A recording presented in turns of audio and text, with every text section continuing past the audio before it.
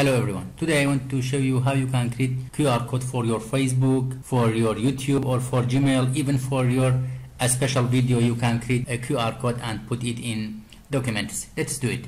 First from insert get add-ins. Here just write QR for office search add this add-in continue.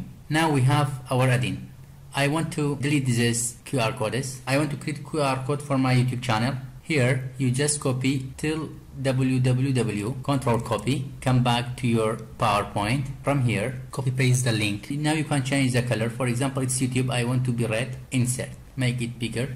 Open the camera of your mobile and put it in the QR code. You see it directly right to YouTube. Just click it. Directly you go to my YouTube channel. That's all I hope can be helpful. Have a nice time